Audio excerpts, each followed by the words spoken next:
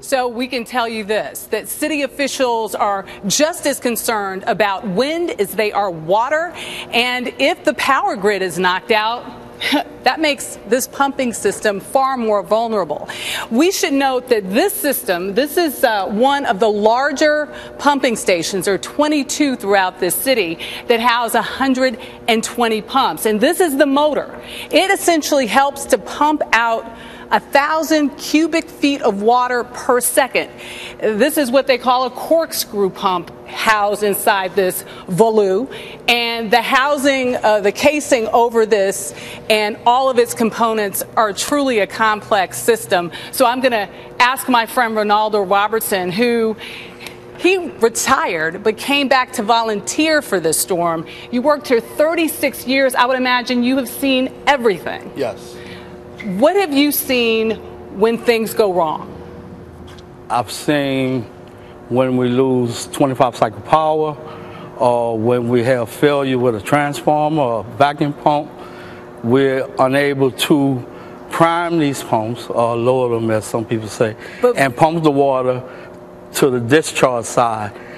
This is called a relay station. So essentially, the water comes out of the culverts, out of the city culvert streets into the canal. It, underneath this motor. Underneath this surface right And here. then this motor here. And then this motor turns the impeller. And the impeller discharges the water to station six. How much capacity can these pumps, these 120 pumps, actually handle?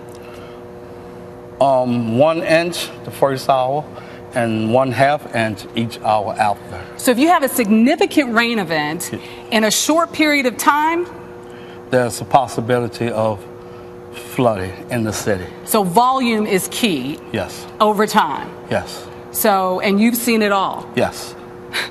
what is the worst case scenario? The worst case scenario I've seen is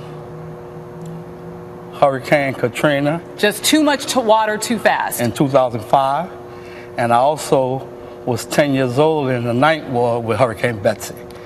People still point to Betsy as one of the worst flooding events in the history of this city. Right.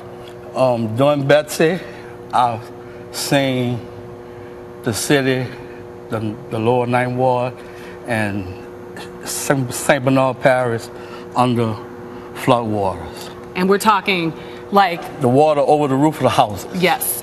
So there's something important that we should know that this is a system that has been in place for uh, far more than 100 years.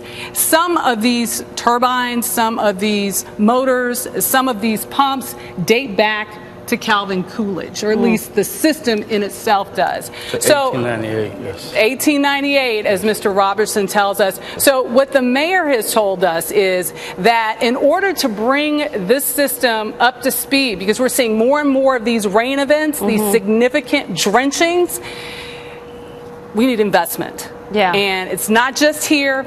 It's in Houston, it's in St. Louis, and all across the country. Yeah, Michelle, I know that um, the, the, governor and the mayor talked about they're actually going to station like National Guard troops to watch to see if the pumps fail. But is there really anything they can do if that happens? And have they been able to do anything recently to reinforce the pumps in any way? So, as we mentioned, August 5th was the point at which they saw a failure of some 19 pumps.